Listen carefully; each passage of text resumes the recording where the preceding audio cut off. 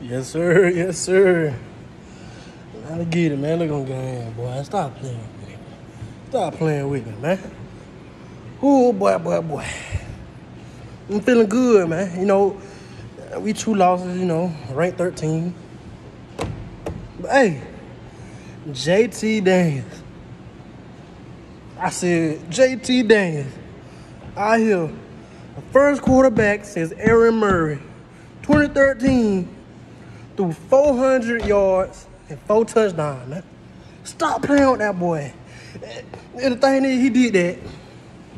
His first game since August 31st, 2019. He did that last year, man. Let me tell you. No, on treadmill, you know. Yes. Mm-hmm. No. But yeah, so you telling me that he our first quarterback. Dude rusty, he rusty. Like, you know, he been scrimmaging in practice, you know, but that's nowhere near the game speed. He's not getting hit in practice. So he come in and rusty is I don't know what. The run game was no existence. Like Mississippi State sold all out on the run. JT Daniels won us that game.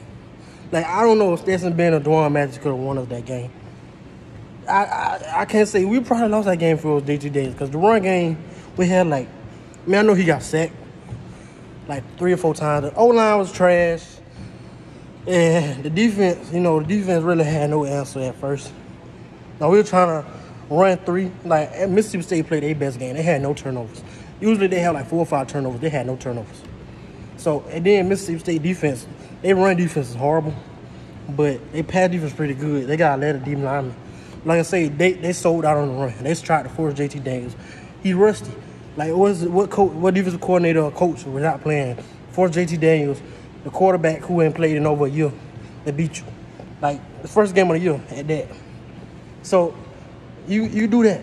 And Mississippi State did good. I mean, we won 24-31.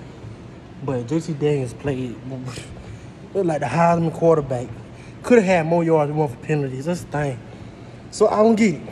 Georgia, when Stetson Bennett, you know, played good defense, you know, limit penalties, you know.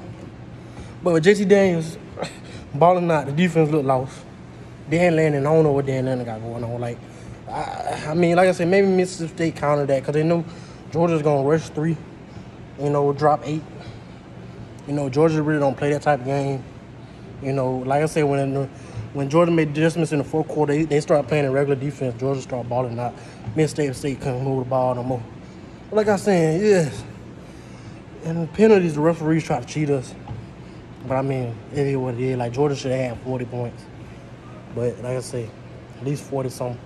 Had 31. But it is what it is. You know, they was calling unnecessary holding calls, you know. like, clearly they want to hold him, but it is what it is. Yeah, again, like, I don't know if Stetson Bennett would have won us again. I don't know if Dwan Mathis would have won game.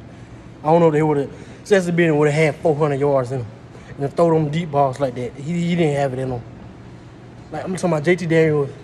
I said, he had a few underthrown balls, you know, a few low balls. But I say it's rest. He's not going to rest off. Like, this is the first game he actually played against a pretty good athletic defense. Like, defensive line, at least. You know, this ain't no Murray State or no Texas State University or, you know, Arkansas State or something, man. You know, no, no FCS team. He doing against the athletic Mississippi State defense. I mean, like I say, they had like one of the best pass defense in the SEC. I mean, I think, I mean, I think Mac Jones had like 200 and like 89 passing yards, 279 passing yards against them, 269, something like that. Less than 300 passing yards. And like I say, they run, they were giving up 173 yards rushing a game. So they sold out on the run. And it was basically JT Daniels' show. He had to win the ball. The, he had to throw the ball deep, you know, and all that. They was giving us nothing down low. And he basically had deep. And if we didn't have quarterback deep, we would have probably lost that game to Mississippi State at home, sadly. So, great JT Daniels, man. I wish uh, you came a little too late. You came a little too late, but it is what it is. We can look forward next year, and maybe we can boost the recruiting on offense. You know, like because you know he throwing downs like in his first game. If he keep it up, you know, I'm pretty sure. You know, like I say, nine teams realize he got an arm. They ain't gonna be able to just sell out and run. But they do, he gonna beat you over the top with Pickens them. Oh, Jermaine Jermaine Burton had almost 200 yards, man. hey, dude balling. Now he look Pickens look happy. But everybody offense look good. Like the O line look lost at times. I mean, JT Daniels got sacked way too many times. But you know that's coming from you know a little rest. You know, you know the game speed different in practice. You know, but like I say, but still the O line looking lost. Like look like they didn't want to block nobody. Like I don't know if they didn't have faith in JT Daniels or what. I don't know, but like I said, the passing game looked good. The run game was shut down. Defense looked lost their first half. Know, Dan Lanning. I mean, again, I I want Muschamp. Muschamp. We need to hire Muschamp and demote Dan Lanning. You know, until Muschamp find a new job, coaching job somewhere. We needed to put that Muschamp, Will Muschamp at defensive coordinator, and you know let Dan Lanning learn under Muschamp and Kirby Smart. And if Muschamp get a coaching job at, you know, uh, doggone, I don't know, doggone Vanderbilt or something, you know, then, you know, get Dan Lanning his job back. But until then, you know, we need Muschamp because Dan Lanning, he's still young. Like, these offenses, it's too good to have a young defensive coordinator.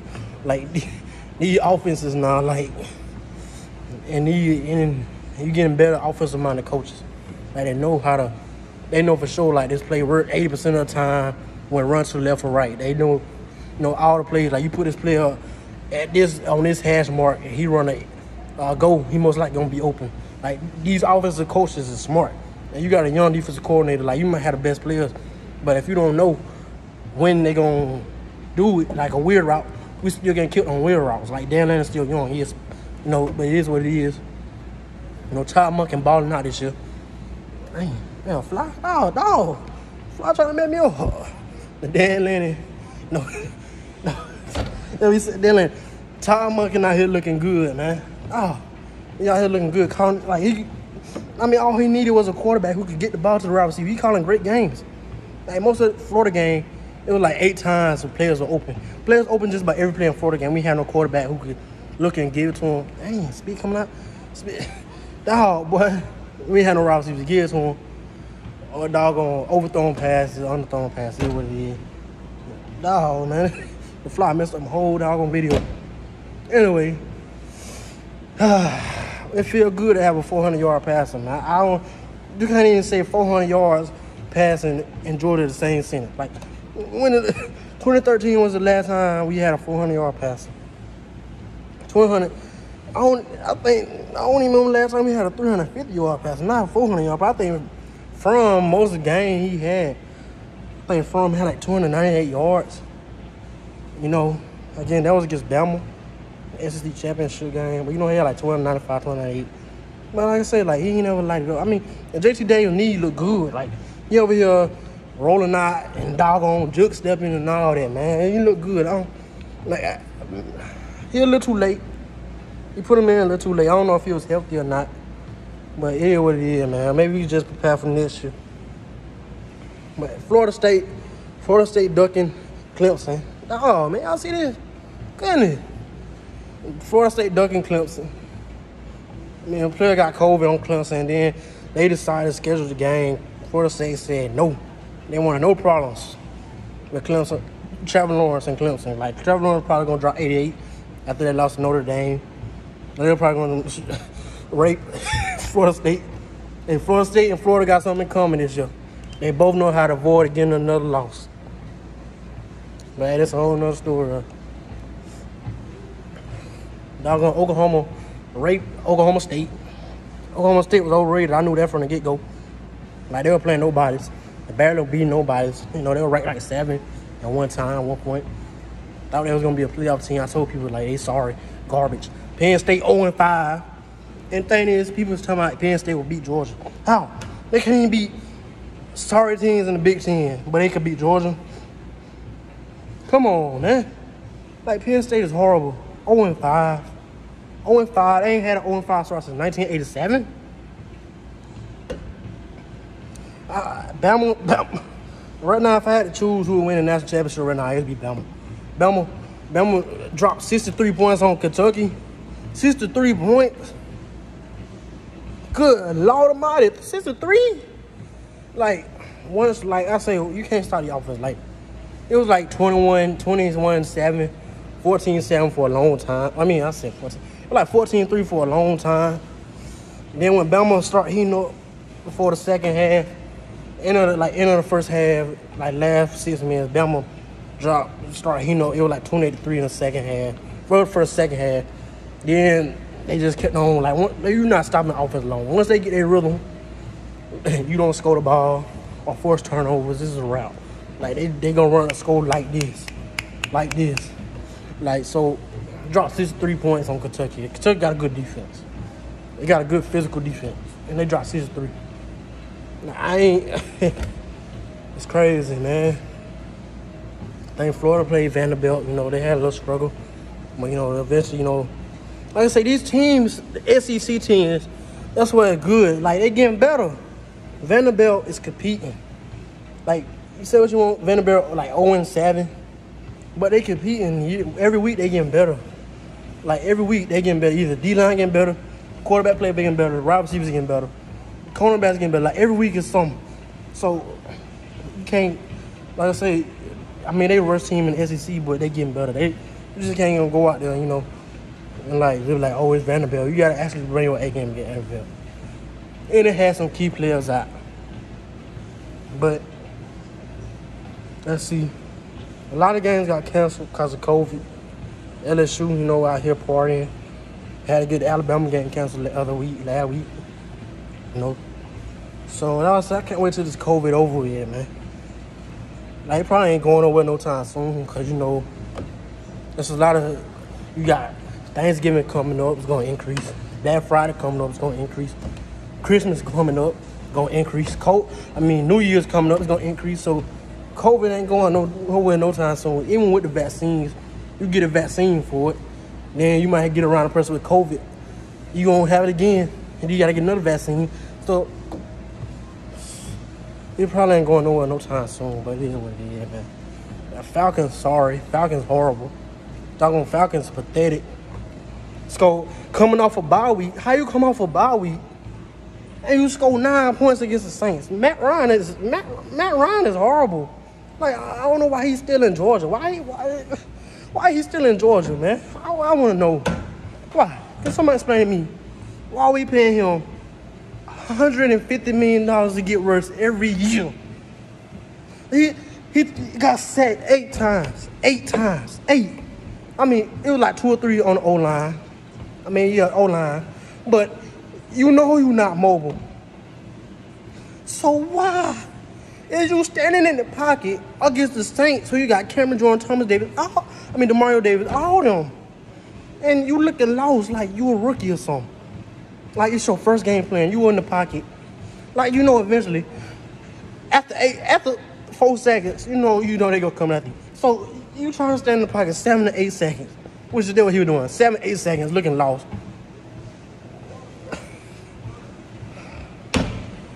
And getting sacked. Third, fourth, third, third and two. You in field goal range for the half or something like that. You take a sack and get us out of field goal range. We could have took the lead. Like, Matt Ryan, what is you doing? What, are you doing? Like, why you get worse? We paying you all this money. They get worse. And I'm tired of people, Falcon fans, defending Matt Ryan, say, oh, he the best franchise quarterback. He been a quarterback since 2007. 2007. You, it's 2020. Finna be 2020. You better do something. Especially we got Julio Jones and all them. Talking about he the best franchise quarterback and all this. Man, we been sorry. Like, come on, man. Like, we rebuilt it on Matt Ryan. And we still ain't, and we now we got to rebuild all over again. He ain't did nothing when we got Matt Ryan. We got to rebuild again. So I don't know. I don't know what to say. But you know, I'm, I'm liking JT Daniels right now. I know you said it was Mississippi State. And, you know, we don't really have no good games to test us. You know, offensive wise. I mean, if you still throw for 400, you know, 385 yards plus every game from here on out, I mean, hey, you, can't get mad. I mean, now if you come out this game and you know you have an off game, it's like, oh man, like, you know, Reds game we play South Carolina. You know, South Carolina, you know, had a good secondary, at least secondary. But Jaycee Horn opted out. You know, we needed him to stay Let's see how really good uh, JT Daniels is, but it is what it is. Like I said, if he come out next game against South Carolina and go like 27 for 31 and have, you know, 345 passing yards, hey, hey, you know what I'm saying? You know what I'm saying, man? And like five touchdowns on, you know, hey, he might be the truth. But, I mean, yeah, what it is. Man, you know, I mean, he looking good, man. He looking good, man. He, a lot of throws he was making, you know, like I say, he ain't played in for a while. And you doing your first game, like you know, you still you coming off a knee injury and you that confident in the pocket, moving around in the pocket, you know, making people miss and throwing dimes. Coming off an ACL injury and a meniscus injury. Think about next year. Like next year, you gotta be if you were an SEC fan or whoever, Clemson, whatever, they still have all SEC schedule next year or whatever, you know, or have out of country game.